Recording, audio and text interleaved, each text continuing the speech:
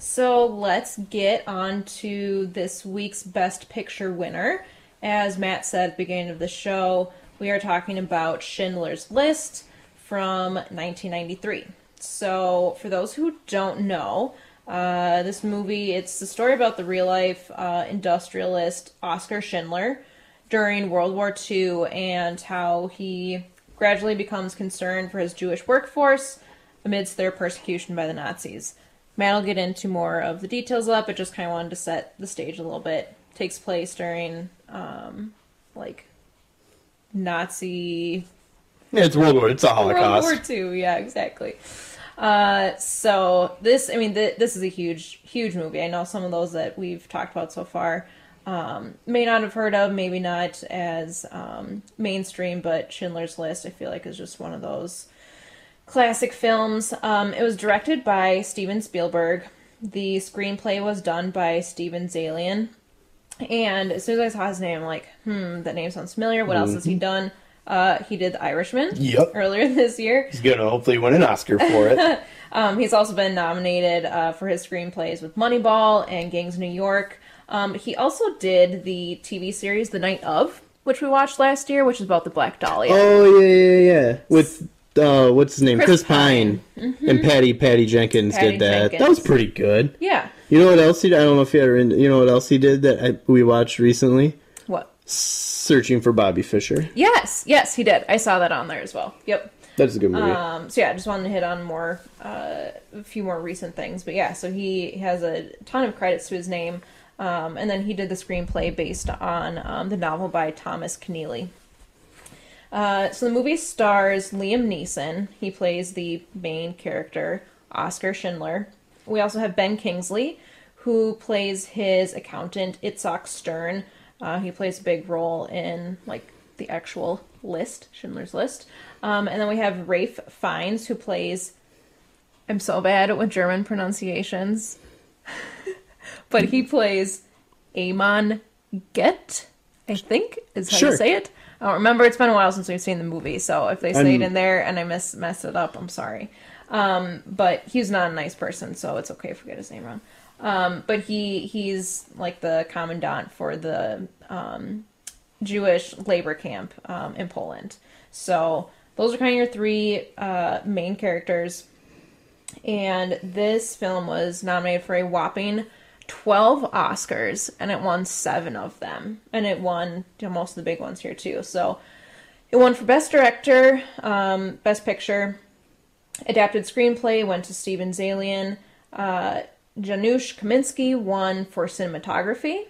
They also won set decoration, film editing, and of course, my beloved John Williams won for original score. So those are seven wins. Um, Liam Neeson and Ray Fiennes also had uh, leading actor and supporting actor nominations. They did not win. Um, the other three nominations that they had were costume design, sound, and makeup. So just ran the gamut of pretty much every nomination you could have. Yeah, this is this is a movie that I think I think there are some movies that win Best Picture where they're probably gonna win Best Picture no matter what year they come out, Yeah. and there's not a lot of them, right? Otherwise, you know, you can say that about a lot or a few. This is a movie that I think if it comes out 93, 92, 94, for the most part, whatever year it comes out is probably gonna win Best Picture. Because like it's it's it's like one of the best movies all time. Is kind of what you're getting. Yeah, it's not like we reviewed Greatest Show on Earth last week. It's not something like that where uh, it's going to win Best Picture any year that it comes out, or uh, you know, even Green Book last year, where I think uh, you kind of had to have certain certain movies come out, and that one happened to be the hit of the year for it to win. Right. This is a movie that it's so personal to Spielberg. He even hesitated to make it because it's so personal to him that it it was gonna win. I think no matter what year it came Yeah. out. Yeah, and you know it's interesting that you mentioned about Steven Spielberg because he, um, like up front, like he he felt like it would be blood money in a way if he if he earned anything off of this money. So all of his royalties, residuals, anything um, that the movie has made, continues to make, it all gets donated to the Shoah Foundation, which helps record and preserve um, like testimonies of survivors from genocide around the world, not just the Holocaust, but everything. So Mm-hmm. it's like I said, it's a deeply personal, but I think like everyone involved seemed like they really had nothing but the best intentions in putting this movie together. And I think he saw he actually asked Roman Polanski to make this movie did. instead, which is kind of weird in a way because Roman Polanski has had his issues and can't come back to the U.S. because of those issues. Uh, but Spielberg ended up making it, and Polanski ended up making a similar movie in The Pianist. Uh, what nine ish years later, two thousand two I think that's right. uh, and won an Oscar for that too. I always think of those two movies just based on the subject matter. I always think Pianist and Schindler's List. Those two movies are kind of similar to me, and it's kind of funny. He turned this one down, and Spielberg made it, and then he'd go on to make his own Holocaust movie too. So, Yep. Yep. uh, but yeah, this movie it's it's three plus hours long. Yep. I can't remember the exact. I got it here. Three hours fifteen minutes long. So it's a really long movie, but this breakdown probably isn't going to take that long because it is fairly. I don't want to say straightforward, but it, it opens with Oskar Schindler. He's a part of the Nazi Party. Uh, I actually kind of like how this movie. Well, it actually opens up with uh, a Jewish family, and it's colored because most of this movie is in black and white. But it opens with uh, you know like traditional you know color uh, film Filming, yeah. film, and they're lighting the menorah. I th- I think they're lighting candles, and then it kind of fades to black, and then goes back in back in time basically That's right. Yep. and I like how it, opens up with Oskar because he's basically rummaging through his apartment or his house or wh- wherever he's living. And he's collecting every s- scrap of money. I don't want to say dollar; it's whatever they're using um, back in the day. Uh, he's pulling all of his money together, and he's basically spending all of his money in one night to make one giant impression on really, really important Nazi officials. So he takes all of his money, puts on uh, like a swastika pin or Nazi party pin, goes to a bar or restaurant where no one knows who he is. People are even asking, who is this guy? And no one knows. And he's so charismatic and so likable that he, he buys, starts spending all of his money. This is all the money he has in his life uh, by buying drinks for all these people and trying to get in good with these high officials. And he does. He ends up making a big impression. And by the end of the night, um, it's kind of funny. It's kind of a cool scene where at the beginning, uh, someone asks a waiter, "Who is that man?" And he's like, "I don't know." But then by the end of the night, someone asks the waiter, "Who is that man?" He goes, "That's Oskar Schindler. You don't know who Oskar Schindler is?" So he, he makes this huge impression on him, and the point is he wants to start a factory making pots and pans for the war, a manufacturing factory, and he wants to have this in with all these officials so they can help him uh, start the factory, but then also he has people to sell to. So he, he spends all of his money in one night to make this impression to kind of as a long con to help him have customers and people to financially support him when needed down the road. Yep. So I really like how it opens up. You kind of see what kind of man he is. He's willing to take a chance like that, uh, and it, it kind of pays off. So he does. He opens up a factory uh, and realizes he needs someone who can actually take care of the financials and run the day to day. And he gets introduced to Ben Kingsley's character, which uh, what's his name? Itzhak Stern. Stern. So they get introduced to each other, and then Stern's job is to basically find workers for him and uh, make sure everything's running uh, correctly.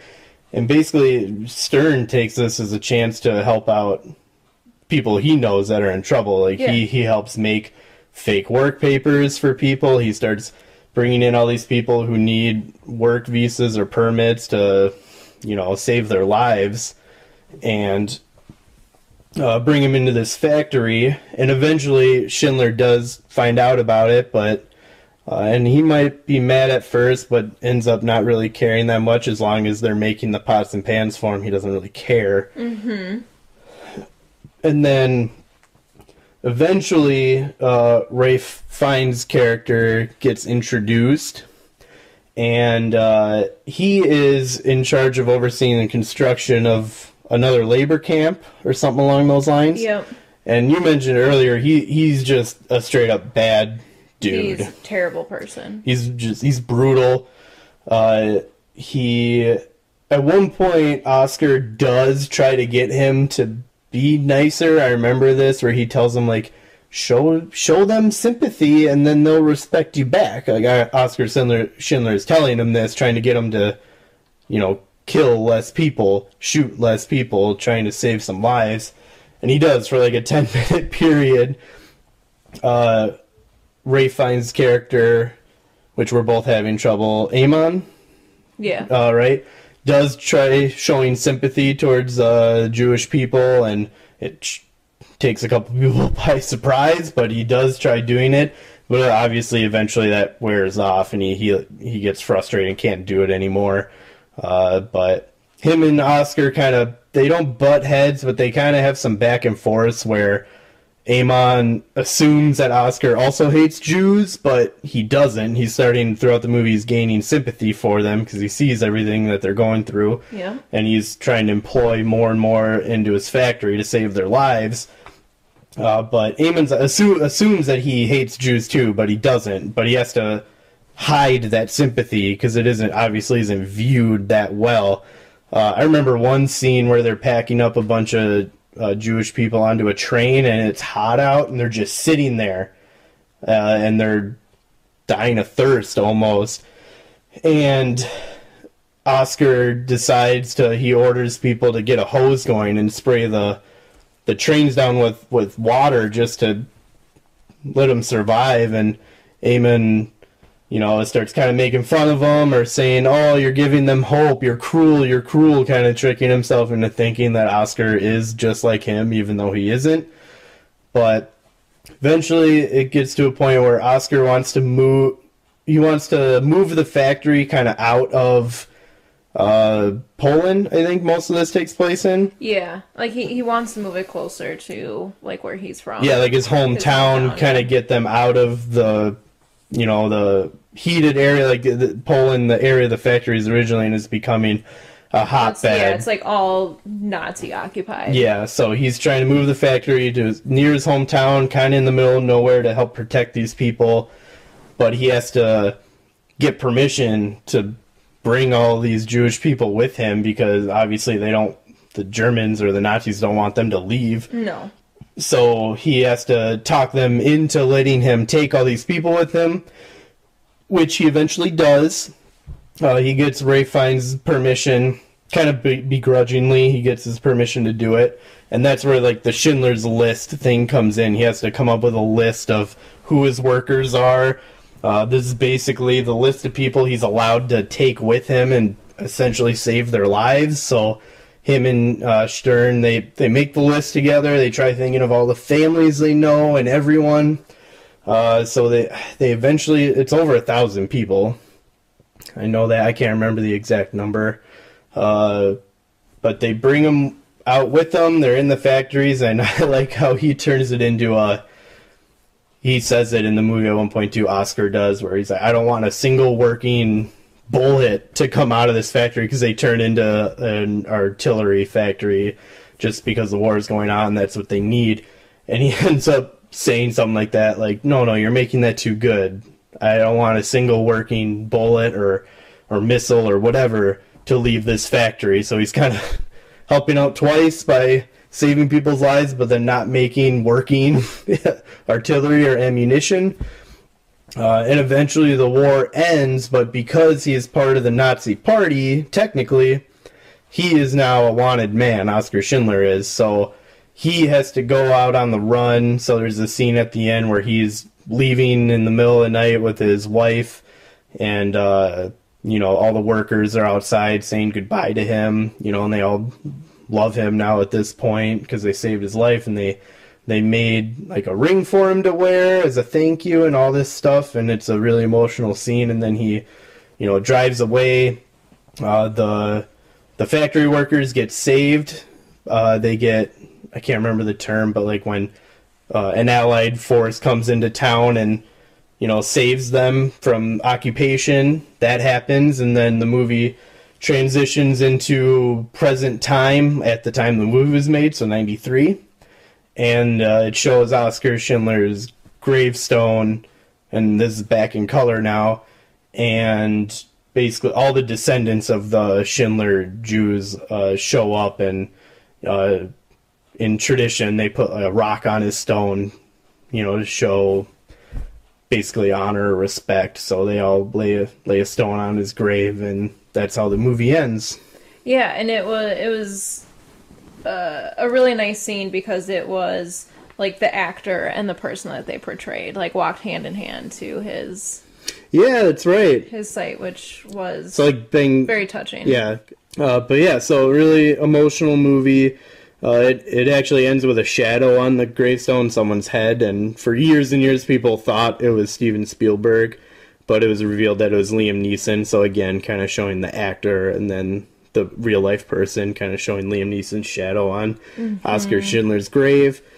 So it was really cool. Uh, this movie is made. It was funny when I was writing notes down to talk about this movie. Something I wrote down was this movie felt like a mixture of a docudrama, like a traditional movie or biopic, but then parts of it really felt like a documentary to me, where they would kind of get away from the main storyline of Oskar Schindler and then just show the conditions that a lot of these people had to deal with while being in the Holocaust. Like, uh, they would show them going through the train station, they would take all their possessions, and then they would show what the Germans would do with their possessions. They would just open their suitcase and pilfer through it and then put it in different piles.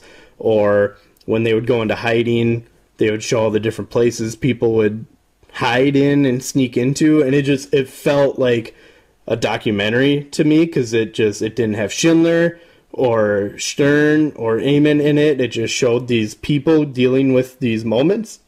And then when uh, I looked into the movie and the and the, the director notes and everything on it, it actually says uh, Spielberg purposely made this movie in a documentary style to show the living conditions and other things that the Jewish people unfortunately had to live with.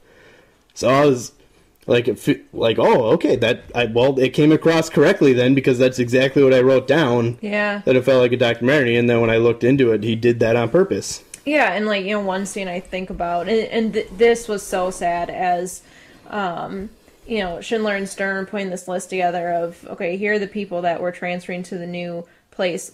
All of the women and children, their train was mistakenly sent to Auschwitz. Yep. and the fear that all of the women had because they had heard um you know of the gas chambers and like the poison showers and stuff like that and so you know they they get sent there and their hair is all gets all chopped off and they're stripped of all their clothes and they're all just sent into this huge shower and all the women you just see the terror in their face where they all just think this is where we're going to die it ends up just being a- a regular shower but just you're Yeah. right the intensity and and it did feel like a live documentary moment not a dramatic scripted moment so uh, yeah that's really fascinating that that was the style that he intended for Uh, so yeah, what were some other than that one? Because I had that one written down to talk about too. When they think they're bre- being brought into a gas chamber and it ends up being a shower. Uh, what are some other moments that you did you have any? Because this isn't a movie that I wasn't sure how you would react to this movie. Because one, it is kind of a war movie again.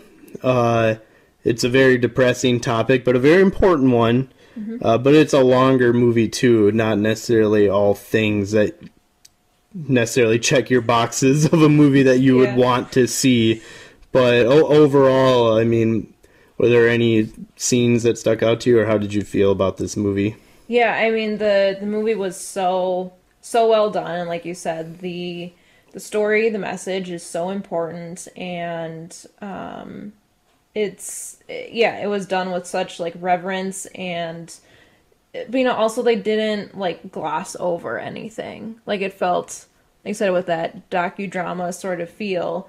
Um, they did. They they kept the tough, ugly, nasty moments that were in there because that that's the stuff that actually happened. So it was a really really compelling movie and it feels weird to say that I enjoyed it. I don't know if I if that's the right word. Um, but like I walked away just being really appreciative of the movie, I guess. Yeah, well, I mean, it's a movie where you don't feel good for like five, six of it, right? Like it's a bunch of you. You see the reality that these people had to go through, and just how terrible it was, and how they weren't even really treated as humans Right. for most of the time, which is just so terrible.